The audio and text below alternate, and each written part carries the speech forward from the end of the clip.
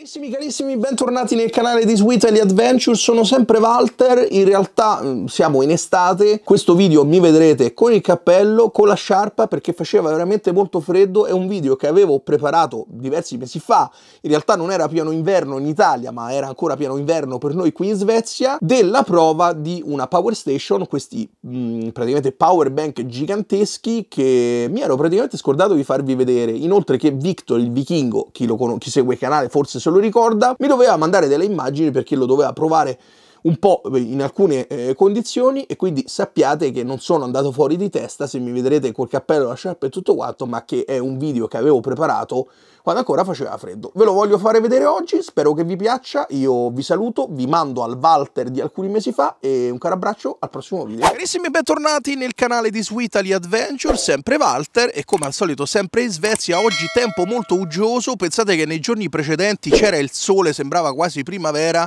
e invece oggi siamo a 2 gradi sotto zero e pensate che hanno messo che domani e dopodomani deve anche nevicare. Eh, va bene, questa è la Svezia. Spero che stiate tutti bene e da voi che tempo fa? Ma non voglio perdermi troppo in chiacchiere, in uno dei video precedenti avete visto la recensione della Power Station della Blitzwolf da 500 watt. Ha riscosso molto successo ed alcuni di voi mi hanno chiesto se avevo da farvi vedere una qualche Power Station con caratteristiche simili ma un pochettino più economica e di conseguenza anche un pochettino più piccola.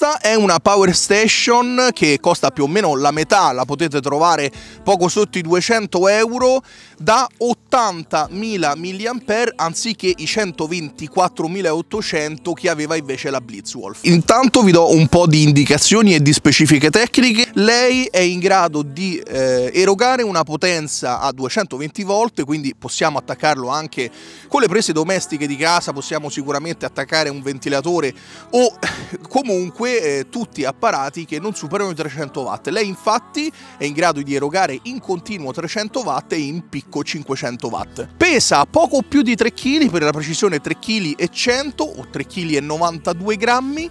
Misura 27 cm nella parte più lunga per 110 mm, quindi 11 cm e nella parte nell'altezza invece misura 185 mm, 18,5 cm.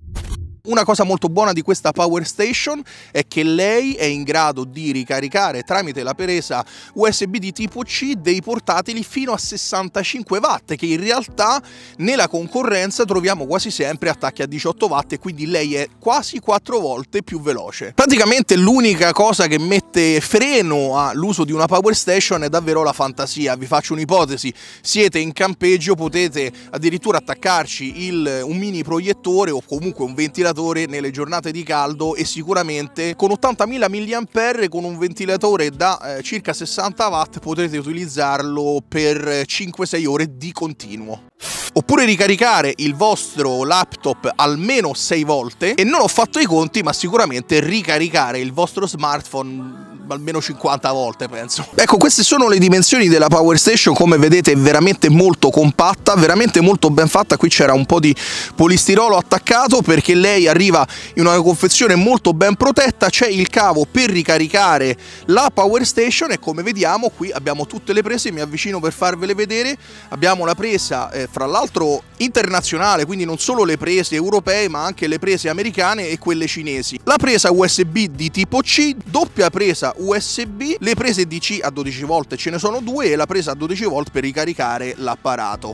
Qui abbiamo un ingresso di areazione perché al posteriore invece abbiamo una ventola per il raffreddamento di tutta l'elettronica interna. Per accenderla basterà premere sull'interruttore e qui ci dà anche il LED dello stato di ricarica della batteria interna. La ventola fra l'altro è in automatico quindi se lei non ha bisogno di raffreddare l'elettronica eh, sarà completamente silenzioso.